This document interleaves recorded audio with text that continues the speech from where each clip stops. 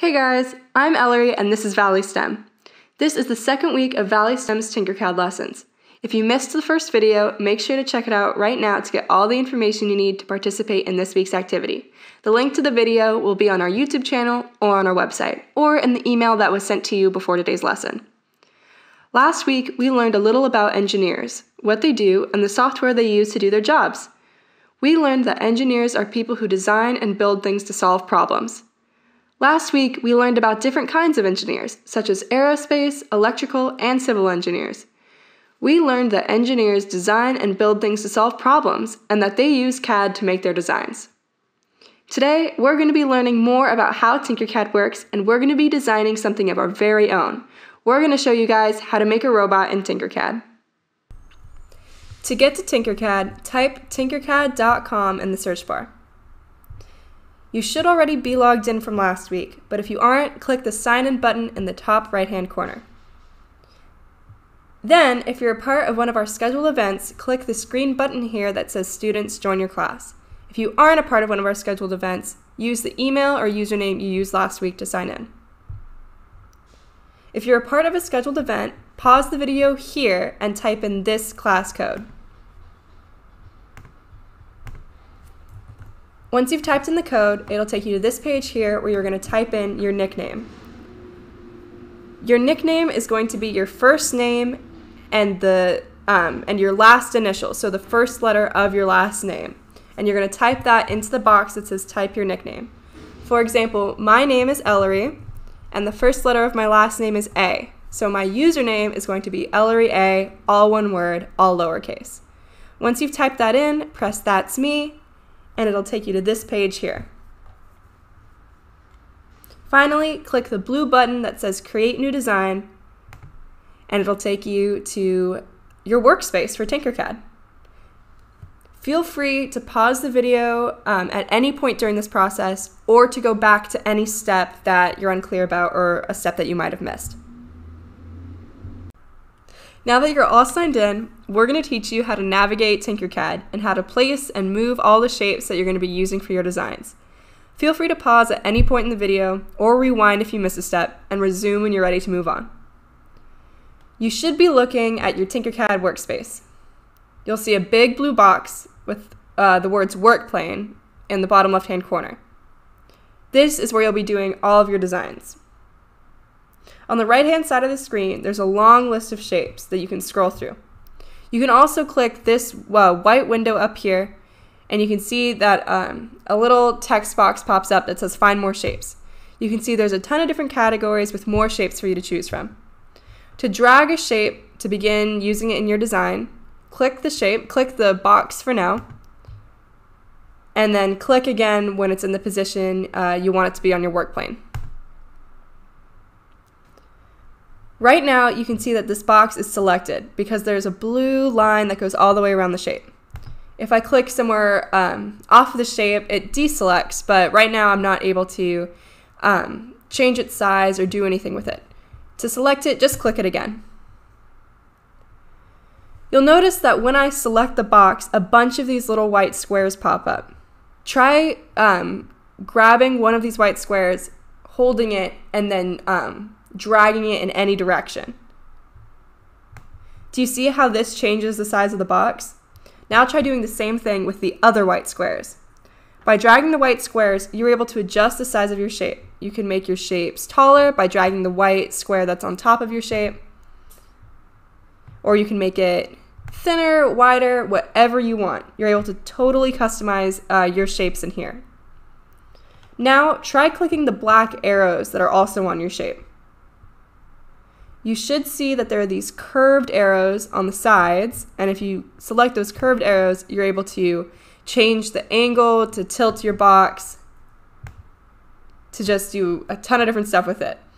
If you click this arrow that's on the top of your box, you're able to change where it is vertically. You're able to lift it up in the air on your work plane. To look at your shape from different viewpoints, which you're going to have to do a lot when you're working on your design, click on this white box in the top left hand corner. If you click and drag, you're able to rotate uh, the viewpoint that you're looking at your shape with. You can also just select the different sides. Like if I clicked uh, this top face on this white cube, it'll show me the top view of my shape. And then I can click these arrows to change uh, the different perspectives. If you're trying to move your shape around, make sure that you grab the box itself and not any of these arrows or white boxes. Just click somewhere that's just on the shape and you can move it around your work plane. Okay guys, so as you can see, I deleted the box from my work plane. Uh, that's just because we're not going to be using the box shape just yet. To delete it from your work plane, uh, make sure that it's selected. That means that there's this blue line around the shape and you can press the backspace button on your keyboard or you can press this trash icon in the top left-hand corner. So to get started working on a robot, I'm going to pick this orange cylinder shape and I'm going to turn it into a leg for our robot. Um, feel free to make this shape whatever color you want. I'm going to make my leg light green. So first, I'm going to teach you guys a trick that will make making your robot a lot easier.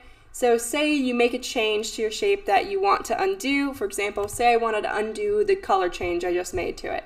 To do this, you can press this back arrow in the top left-hand corner. It's the undo button. When you click it, it'll undo the previous change. So yeah, so getting started, I'm going to make my robot's leg a little bit thinner.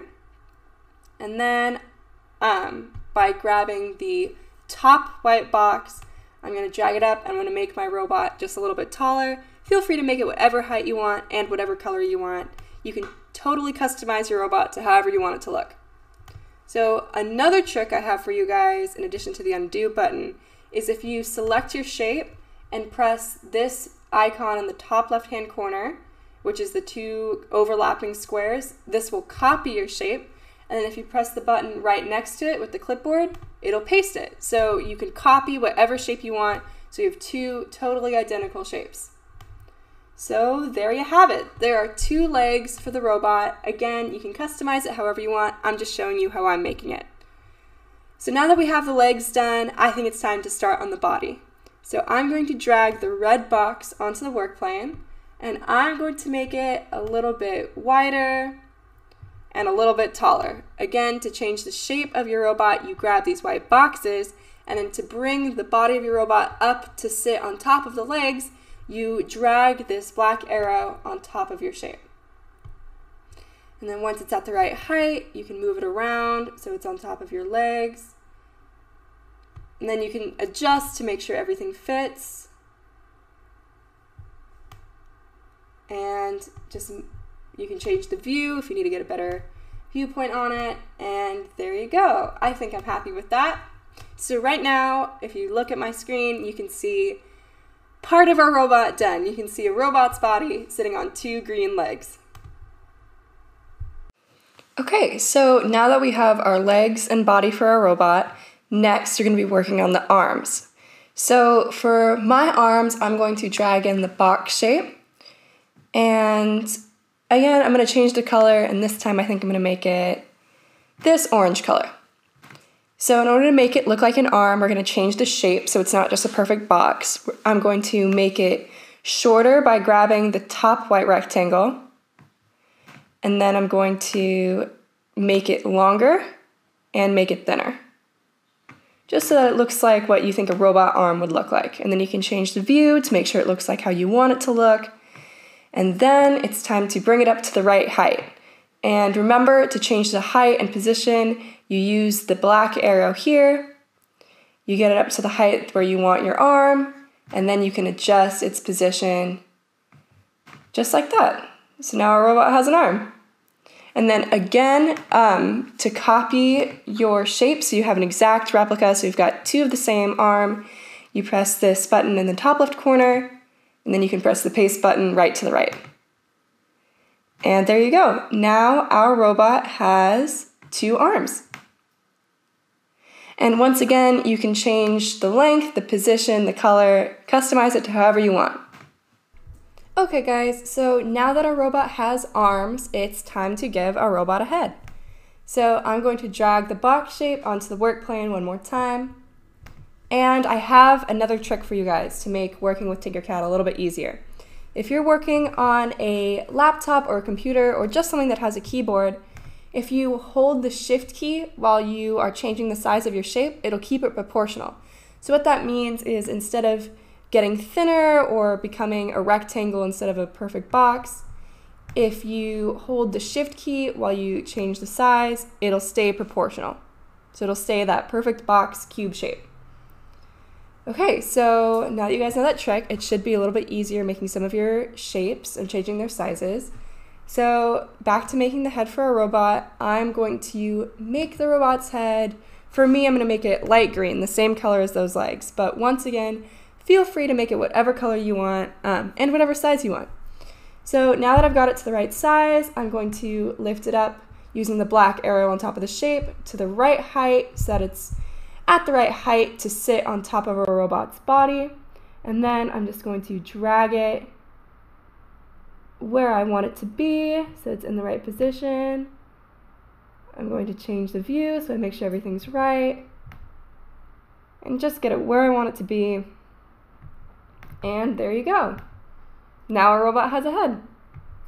So now that we have the basic components for our robot, it's time for the fun part. So here, you're gonna just be able to customize your robot however you want, make it look however you wanna look, add uh, maybe a face or some hands or some feet, maybe some buttons on his body or an antenna on his head. And once again, on the right hand side of the screen, you can scroll through and look at all these different shapes. And you can also click up here at the Tinkercad basic shapes and you can see that there are a ton more options for you to use. And one tool that might be fun for you guys to use is this scribble tool. So if you drag the scribble shape onto your work plane, it actually allows you to draw whatever shape you want. So here I'll just draw just a little quick smiley face, and then if you click done, you have your very own smiley face shape. So yeah, feel free to do whatever you want. Um, feel free to also pause here and make the robot on your own. I'm going to continue to make the robot so you can look at it just in case you get stuck or you want some inspiration, but try and do it on your own first and see what you can come up with. Okay, so hopefully you took a little bit of time and you paused this video to try and make the robot, the rest of the robot on your own and to customize it however you wanted to. But if you got stuck or if you just want to see what I did, um, or if you're all done, then here you go. Here is what I'm going to do to make the rest of my robot. So I looked through the shapes a bit on the right hand side and I think that this half sphere would make a good eye for my robot. So first I'm going to make it a lot smaller because this will not fit right to be an eye on my robot. So to do that, I'm going to press the shift key, hold down, and I'm going to just make it smaller. Then what I'm going to do is I'm going to um, I'm going to use those if I can ever get my Tinkercad to zoom in at the right place, but I'm going to use these side arrows to make it um, to make it so it'll be at the right angle to sit to have the flat face of the shape fit on the robot's face. So you can just press the arrow and then type in 90 degrees and that's how you get it to turn um, to get at the right angle, or you can just drag that arrow till it looks right to you. But once I have that done, I'm going to use the pointy black arrow on top. I'm to lift it up to the right height. And if you ever get in a weird uh, orientation or you're looking at your shape in a weird way, you can press this home button here and it'll take you back to kind of the default setting. And then you can move it and just adjust to where you need it to be. And I think that looks about right. And to make my second eye, I'm going to do what we've been doing. I'm going to copy and then I'm going to paste. And there you go. Now my robot has two pink eyes. Speaking of which, I think I'm going to make my eyes. Mm, I'll make them red. I think that's a good robot color. Okay, and then there we go. there's my robot with two eyes. One of them looks a little bit different than the other, so I think I'm just going to bring it in a little bit. And I think that that should be closer to being identical. Okay. So even though the eyes are a little bit different size, I think that's a-okay. Um, now I'm going to get started on giving my robot a mouth. And to do that, I think I want to give him a smiley face. So I'm going to use this round roof shape. And I'm going to use those arrows once again to turn it upside down. This time we're going to go 180 degrees, just like that. And now, if you look at it, it looks like a smiley face. Or I guess just a smile. But I'm going to make it black. I'm Gonna get it about where I think it should be. And then I'm going to use that pointy black arrow to bring it up to the right height. Turns out it is way too big for my robot's face. So I'm going to hold down the shift key um, to keep it proportional. And I'm going to make it a whole lot smaller. And then just try and get it into the right position. And there you go. I think that looks right to me. Now my robot has a has a wonderful smile. Okay, so now that my robot has a face, I'm going to give my robot an antenna that sits on top of his head. So first, I'm going to use, let's use this polygon shape just because we haven't used it before. So first, I'm going to make it a whole lot thinner, and then I'm going to make it taller,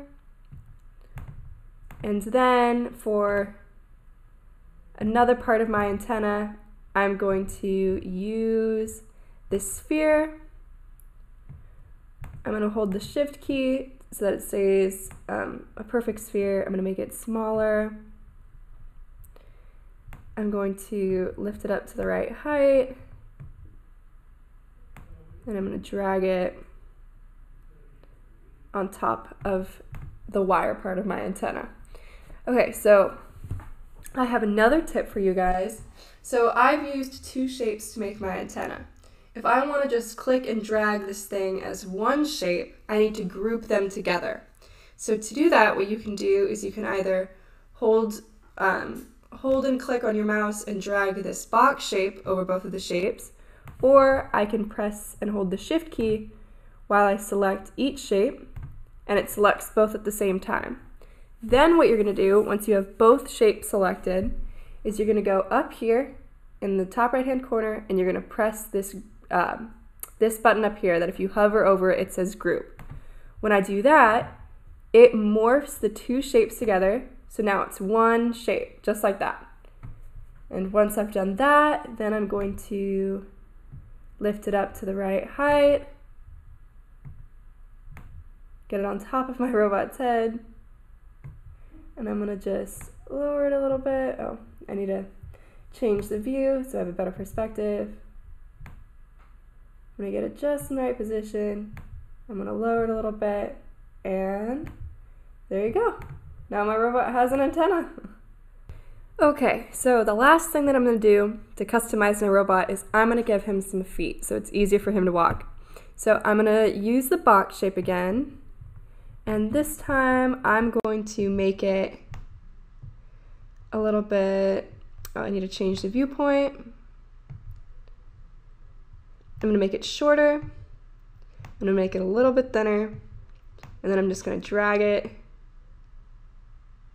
right in the correct position. That looks like a good shoe for my robot to me, a good foot. Then I'm going to use the copy button. I'm gonna paste, just like we've done before. And I'm gonna put the second one in position, and there you go.